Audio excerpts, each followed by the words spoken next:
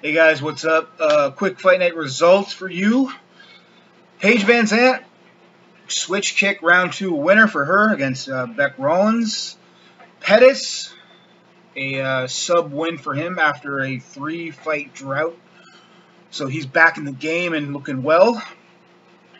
And Carlos Condit, unfortunately, the loser last night against Demian Maia, 38 seconds in just basically rear naked choke, and with Maia's jiu-jitsu skills, it's yeah, it was pretty much over. I mean, huge Condit supporter, but I'm also a, a realist, and let's face it, guys, Maia, he's the best of the best. Wants the title shot before Stephen Wonderboy Thompson.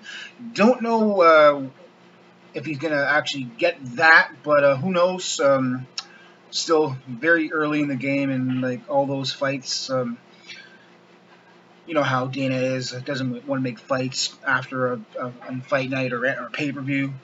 So I'm pretty sure something will happen to that effect very soon. Conor and Alvarez might be the headliner for the New York card 205 but that like again very early, so maybe something like that'll happen. Is Conor like obviously he doesn't want they, the trilogy may or may not happen. I don't want to see it happen honestly because I think two is enough for them, even though Conor will obviously disagree. But yeah, getting just get, quickly getting back to Condit, he uh, noted uh, during the press conference that he, he was hinting at retirement I really, really hope he really considers not retiring because he is amazing. And like, it would really suck for me because I'm a huge fan of his. Hopefully, in the near future, maybe um, if he gets on a, a card uh, near here, um, I can meet him. He's like 206, obviously in, in Toronto, so hopefully that weekend is going to be like packed with stars here. So hopefully he's one of them, but more than likely not.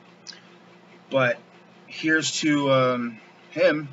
I mean, like I said before, when you when you're facing Maia and his skills, you're going to be on the losing end nine times out of ten.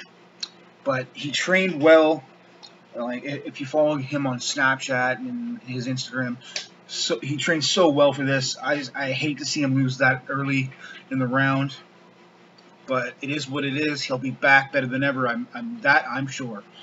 Um, so yeah, this is just quick results, guys. Kevin will be back with me later tonight, hopefully for more in depth, and we'll go into lots of other stuff, MMA and WWE. So please stay tuned for that. Adios.